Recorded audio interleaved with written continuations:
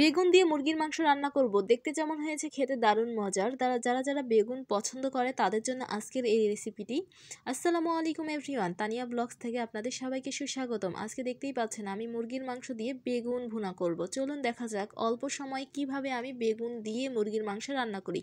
সামনে দেখতে পাচ্ছেন বেগুনটাকে সুন্দর করে কেটে নিয়েছি এবং ধুয়ে নিয়েছি। মাংসটাকেও কিন্তু পিস পিস করে কেটে নেওয়া হয়েছে এবং ধুয়ে নেওয়া হয়েছে। অত কিছু যদি দেখাতে চাই তাহলে ভিডিওটা অনেক বড় হয়ে যাবে। সেজন্য অল্প শর্টকাটেই আমি আপনাদেরকে দেখিয়ে দিচ্ছি।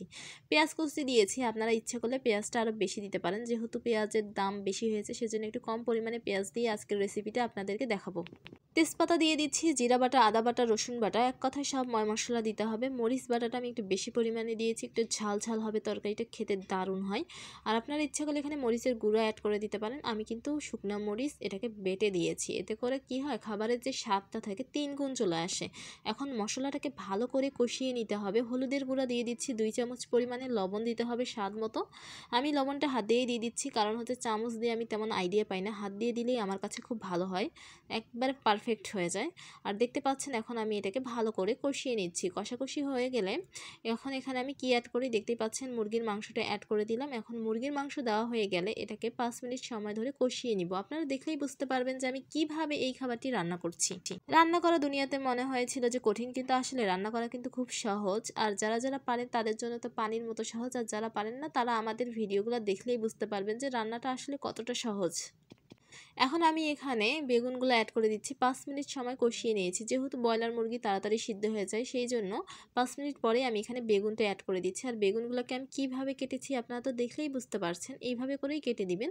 তাহলে আস্ত থাকবে কিন্তু হচ্ছে সিদ্ধ হয়ে যাবে নরম তুলতুলে। এখন আমি এখানে ঢাকনা দিয়ে দিচ্ছি। পাঁচ মিনিট ঢাকনা দিয়ে রেখে দিয়েছিলাম। পাঁচ মিনিট পরে ঢাকনা খুললাম। কালারটা দেখুন কীরকম হয়েছে, পরিবর্তন হয়ে গেছে। যেহেতু এটা কালচে কালারের বেগুন, সেজন্য এটা কালো হয়ে গেছে। এখন এটাকে সময় মানে সময় নিয়ে একটু কষাতে হবে। দেখতেই পাচ্ছেন অনবরত কষাচ্ছি। যতক্ষণ না পর্যন্ত এর তেলটা বের হয় ঠিক ততক্ষণই কষাতে হবে। আর বেগুন কিন্তু একটাও মানে গলে যাবে না। এখন এটা কিন্তু কষানো হয়ে গেছে। এখানে আমি গরম পানি অ্যাড করে দিচ্ছি। আপনার ইচ্ছে করলে ঠান্ডা গরম যে কোনো পানিই দিতে পারেন। এখন এখানে পানি দেওয়া হয়ে গেছে। আর এটা সিদ্ধর জন্য আমি সাত আট মিনিটের মতো ঢাকনা দিয়ে রেখে দিয়েছিলাম। সাত মিনিট পরে ঢাকনা খুলে এরকম হয়েছে। এখন এখানে আমি কিছু ধনিয়া পাতা অ্যাড করে দেবো। যেহেতু শীতকাল আর ধনিয়া পাতা পছন্দ করে না কে? মানে অনেক মানুষ আছে ধনিয়া পাতা খায় না, কিন্তু অনেকেই পছন্দ করে। যারা খায়, তারা ধনিয়া পাতা অ্যাড করে দেবেন। এতে করে খাবারের স্বাদটা তিন গুণ বেড়ে যাবে। এখন দেখতেই পাচ্ছেন, এখানে অবশেষে আমি দিয়ে দিব জিরা এবং ধনিয়া গুঁড়াশ ভেজে রাখা যেটা মানে ভেজে যেটাকে গুঁড়া করা হয় সেটা এখন ঢাকনা দিয়ে আর তিন মিনিট জাল দিলেই হয়ে যাবে। আর এই রকম তরকারিটা হয়েছে। যদি ভিডিওটি ভালো লাগে তাহলে লাইক করবেন কমেন্ট করবেন শেয়ার করবেন। আসসালামু আলাইকুম, আল্লাহ হাফেজ।